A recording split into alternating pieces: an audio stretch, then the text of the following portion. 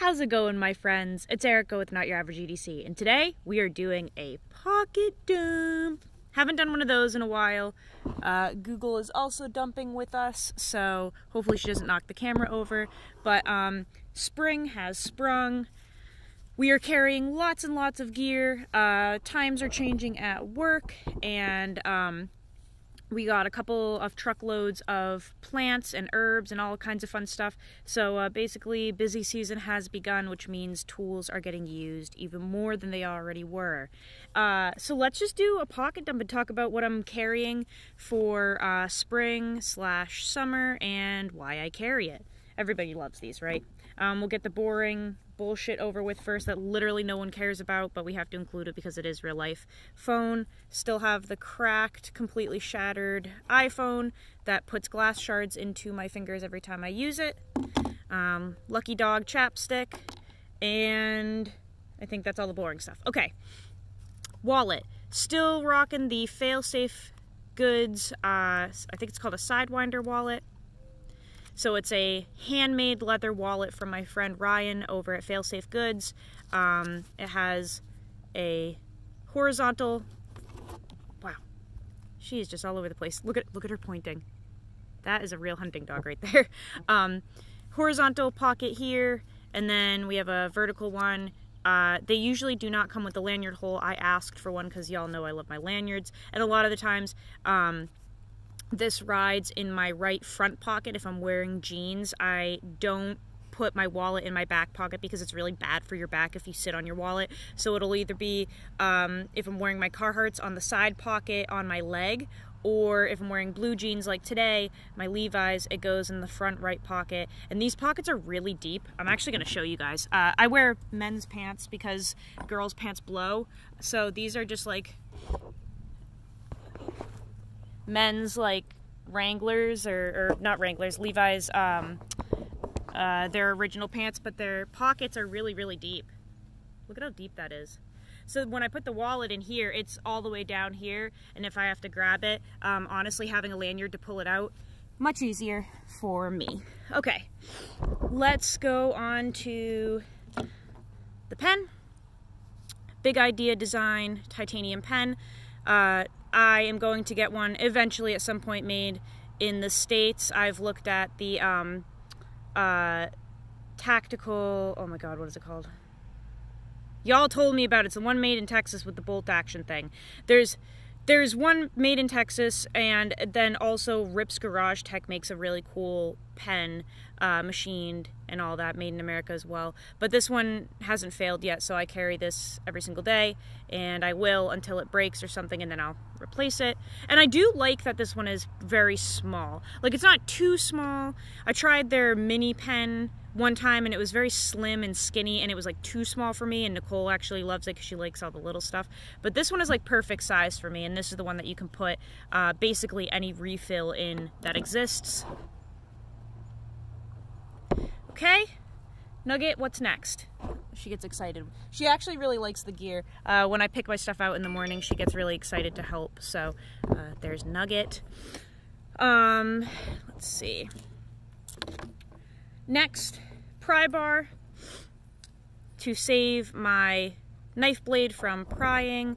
Um, I only pry with my knives if I have nothing else available to me, which, yes, does happen, or if I'm doing it for testing purposes like with the 940. Um, however, if it's just a normal day, I will have a pry bar with me because I do a lot of prying, I guess. So this is the Mr. Nice bar made out of full titanium and the ingredients are right there. Uh, this one he anodized a chocolate color for me as requested and this is also his Be No One Ultem bead on there. So this is a full Mr. Nice Guy outfit right here. This is probably I mean, not only is it genius, but it's just the most well thought out pry bar, the most useful one I've ever really found, aside from something simple like the uh, BGM knives one that I have. Like, that's just a, a chunk of titanium. But in terms of design and being like aesthetically pleasing, this is the the most useful and genius design I've actually ever seen in my life for a pry bar. Like, look, look at how much thought went into this, right? This is the pocket clip, which is obviously part of the bar. I love that he made a little lanyard hole and he makes his own beads for it. So this one's really cool. It's a cube and it hides the knot and um, it also has like a, a machining area at the top too. Um, it's just really a, a, well thought out design. I love the bottle bottle cap thing. Y'all know I love my beer. Um, really nice large space there for prying and scraping, especially scraping. That's what I do a lot is, is scraping stuff. So it's just, it's just seriously genius. I've had this in my pocket every single day since I got it. I I really really enjoy it, and like I said, I mean it saves my my knife blade from prying staples or anything like that. So uh, that is a must-have all the time. I've carried a pry bar for eternity. Um, so usually I'll carry a Swiss Army knife. I like having a small very slicey blade. I've always carried a Swiss Army knife. However, I'm just trying different things. So I put my Swiss Army knife in my tool pouch, which just goes on the counter at work, and I am trying to carry something like this just to see if it satisfies my craving. Uh, so this is a, I don't know, I don't know how to pronounce this, Tidioute? Tidioute?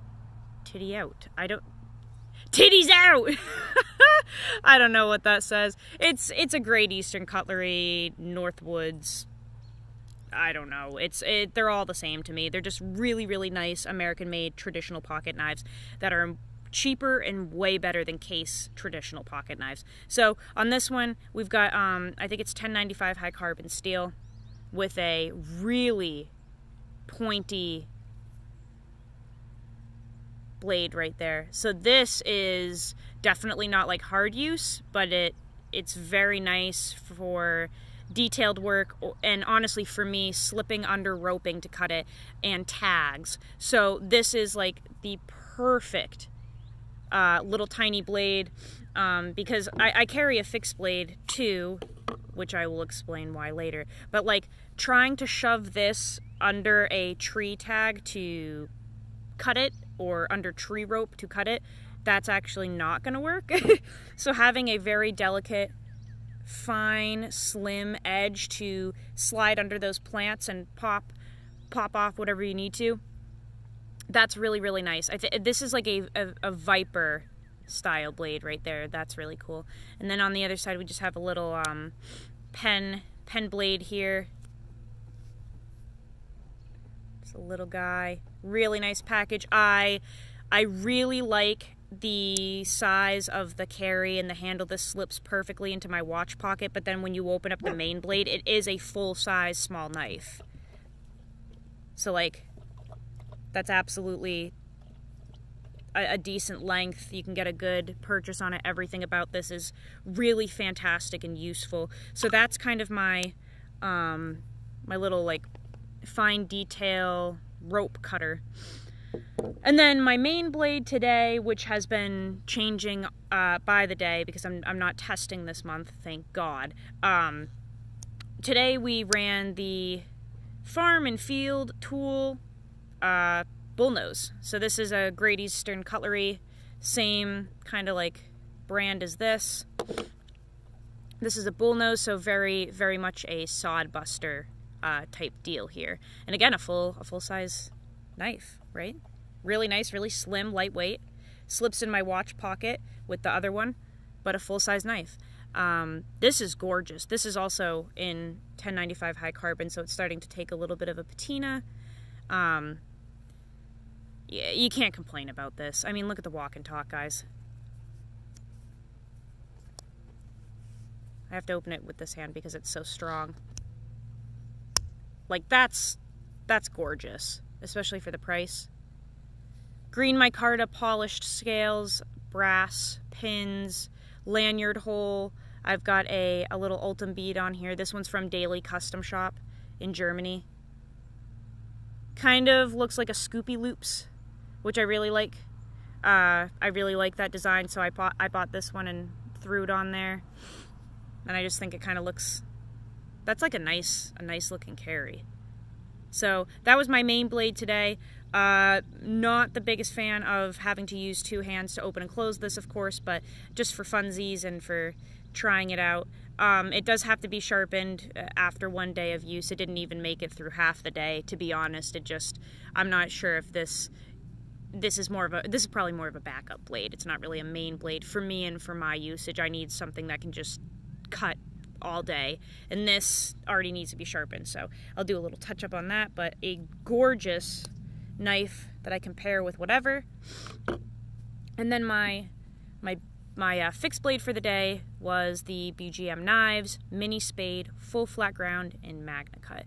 Now, this is probably my favorite fixed blade. Uh, definitely one of my favorite fixed blades. It's just perfect. So um, it is in Magna Cut. This time treated to 62 to 63 for a, a test, uh, a heat treat. Um, it's one of the best knives I've ever used. Um, the the I think the mixture of the thin grind, the higher heat treat, and putting multiple new edges on it um, I think that was really the game changer with this one. And I, am sorry that I keep looking over here. I have to watch my dog. Kane! Kane! No. Kane has a lot of issues like his mom, and he likes to eat poop when he's nervous or anxious. So I'm watching him to make sure he doesn't eat poo poos. I don't eat shit, I promise. I just have other head issues. Um, so this is the blade that I will be using for all of the plant trimming and the produce trimming and stuff. So I've mentioned before I work at a, a farm. We get tons of produce in and basically everything has to be trimmed up before you put it out for the customers especially when it first comes in. Uh, we have to make like little houses for them to like grow in and stuff and to stay fresh in. You have to trim all the bottoms off trimming leaves and stems and stuff. And it honestly is pretty brutal at times. I mean you're you're using your knife for hours and hours and hours. It's high impact. It's you have to have a thin sharp blade that can kind of just go forever and i find myself consistently reaching for this one I used this for hours today, and it still is cutting clean through paper. Um, it's pretty wild, and the geometry definitely is on my side and in favor of winning for me. However, the Magna Cut, I can tell uh, this time around is really fantastic, especially after working through a couple of edges on this. So this is really a lifesaver for me. This is the knife that kind of like stays on the work table and just does all of my produce trimming for me. It's it's really comfortable. Um, the handle, the lack of ergonomics, the the fact that I can hold it like that, like oh my god, oh my god, oh my gosh, look at this. Oh, that's perfect, especially for the detail cuts. Um, I uploaded a video, like a short earlier today, of me trimming like a leek just to show you guys like kind of what I do at work. And it, it's just, that's like perfect. Look, it just fits perfect. I mean, we have a little peephole right here, but that is really nice for those detail cuts. Zadie, okay, so Zadie also likes to eat poop, but she, where is she? There she is. Zadie, leave it alone. So Zadie likes to eat poop and mushrooms. She likes to trip on mushrooms, which is very odd. And she's always done that. I think my dogs are just totally fucked. They're cute, but they're fucked. Um, yeah. So there's the fixed blade. Saved my butt today. Just kept an edge like crazy. I'll I'll strop it up tonight, but it's still you know cutting through paper. Um, and still got a little bit of stick to it. So that's the fixed blade. Um, and I just I have to carry multiple blades. It's there's no way that one blade would work for everything, especially because the the produce blade, whatever I use for trimming the plants, has to be uh, like resistant to rust. I mean, it's sitting in water for hours and hours and hours. Like the plants are wet. They're being put into water. They're being it's just like such a wet environment for the for the plants. So it has to be stainless. Um, MagnaCut 100% stainless.